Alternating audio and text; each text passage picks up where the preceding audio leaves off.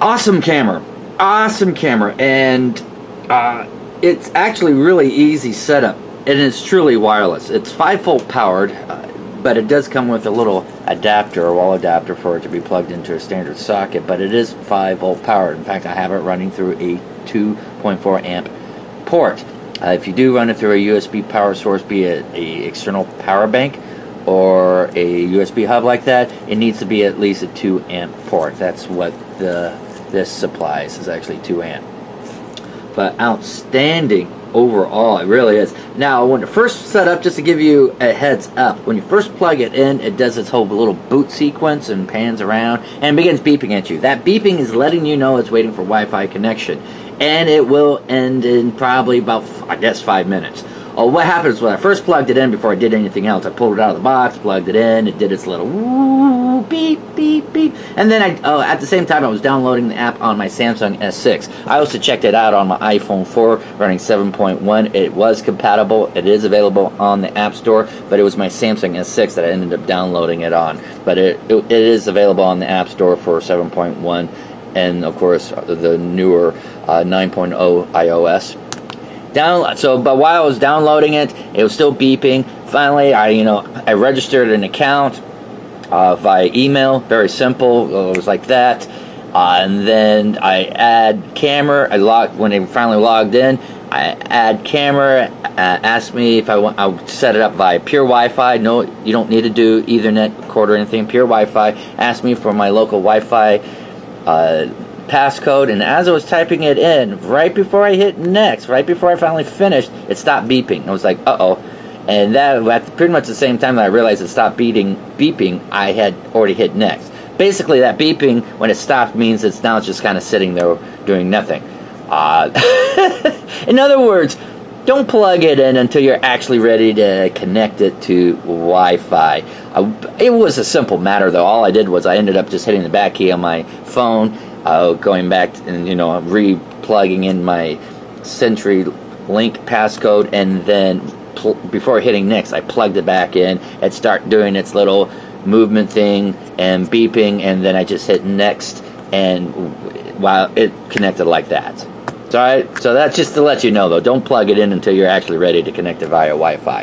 Uh, and uh, next thing, uh, I'll go ahead and since I'm right here on the screen, it does actually save if you decide to take video or anything like that. I don't have it has a micro SD card slot there for local saving, for local recording. I don't actually have one in there, but it does support up apparently to 128 gigabytes, which is actually phenomenal.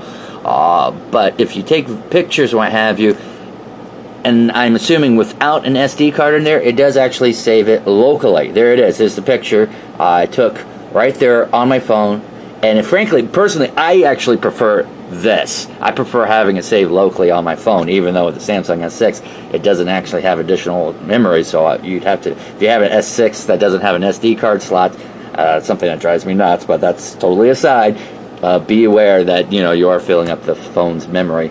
But I do actually prefer having the photos, what have you, right, saved directly on my phone because from there if I want, I can upload it directly from my own cloud. But it does have a card slot for local saving, the local recording, and, and you know, of course, you can always just pop it out and uh, put it in your uh, SD card reader or something and work with it from there. But there's that uh, actual app. Let's go ahead and um, actually, I don't think I have it sitting on my home screen. So, COT Pro, COT Pro. Now, I have actually looked at this particular app in the past, and I, they've done some they've done some uh, major updates since I last used this software. Uh, it's actually really nicely done. There it is.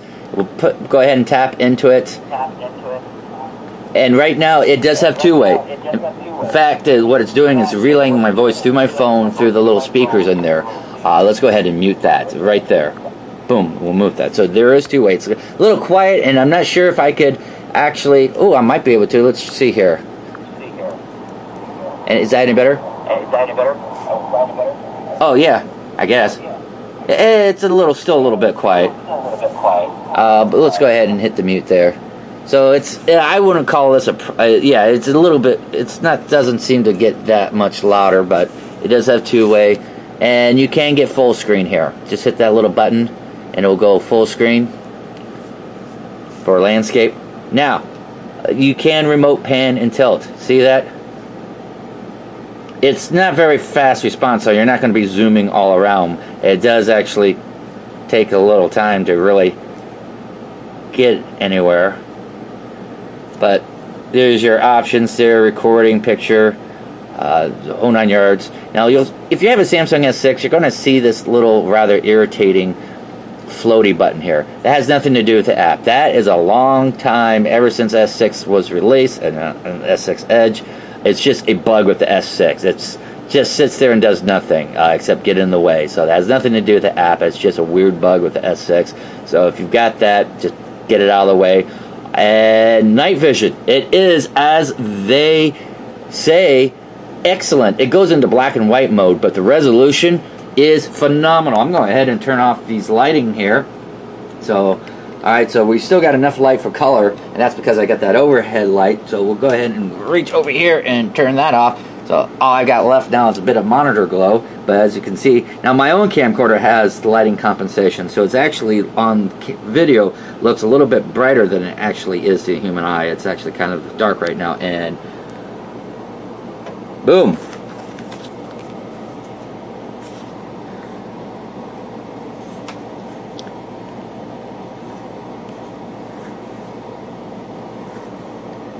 as you can see on that tin metal sign, uh, it the the lighting, the IR lighting, does reflect and kind of kill the details of it. Uh, but that you know that's to be expected. But I want to highlight on reflective surfaces, it does wash out any kind of details. But on non-reflective surfaces,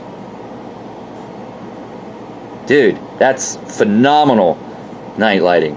I have to say, after all this time evaluating security cameras or anything with infrared or night compensation lighting, this is hands down the best. I'm not kidding. This they really it's truth in advertising finally. This truly is absolutely phenomenal night lighting. That is excellent.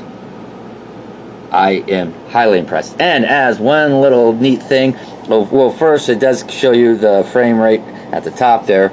But number of viewers, one. I I like that. It actually tells you. So if you ever see that pop up one number than it should, you know something is going on.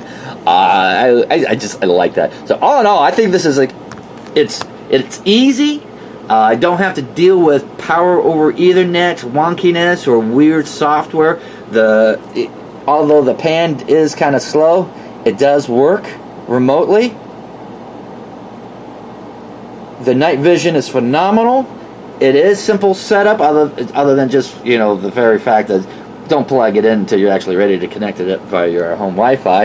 it's simple as that. But yeah, I'm I'm impressed. I am very very impressed. So there you have it. You guys have yourself a great one.